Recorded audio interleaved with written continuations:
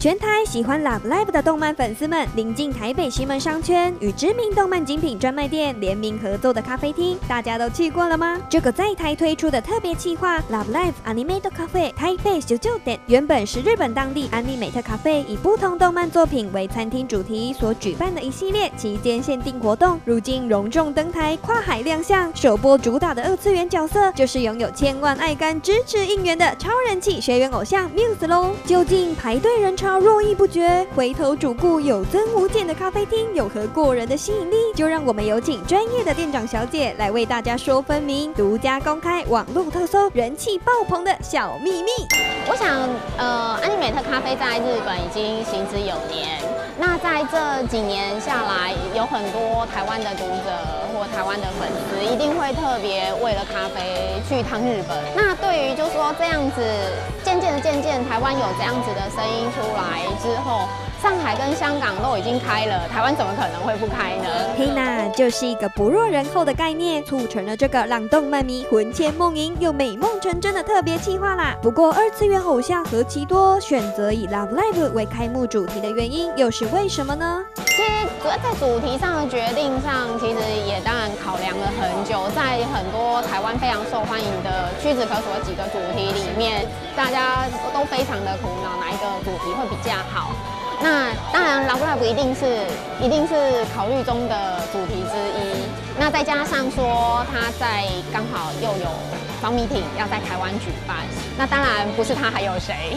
哎，苑家店长说的这么直白，虽然 L L 正夯是事实，但身为爱干，听了多少还是有些安送的心呆啦。啊，不是，我是说有些不好意思啦。言归正传，请店长来为大家介绍一下桌上这几杯造型独具、风味各异的饮料吧。其实每一杯饮料都是针对角色的个性啦，或者它代表颜。色，或者说他有没有喜欢的一些食物，然后来针对他的个人的一个形象做特别调制。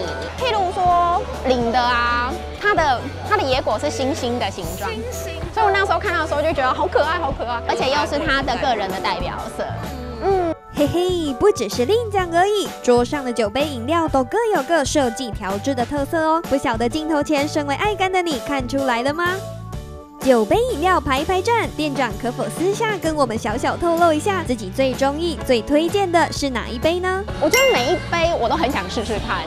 那但我觉得我还蛮喜欢口头力的，因为它可以喝到两种味道。嗯，可以先喝它的茶，它的伯爵的味道，然后你再把它调成奶茶。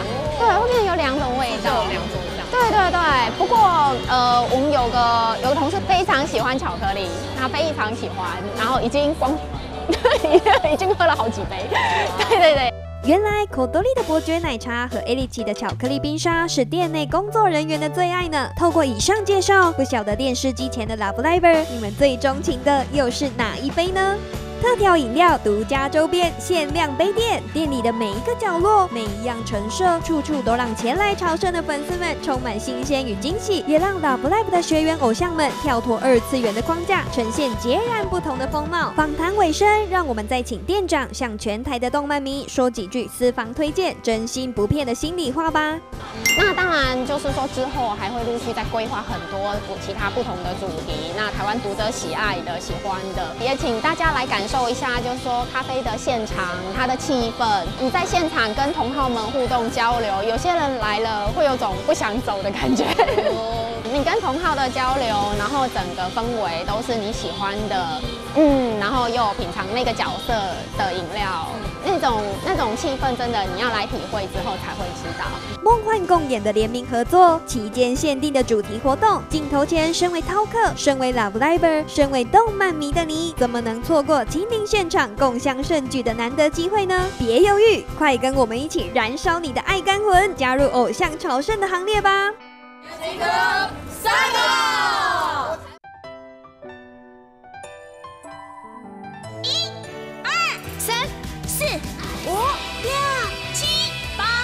九、六、十。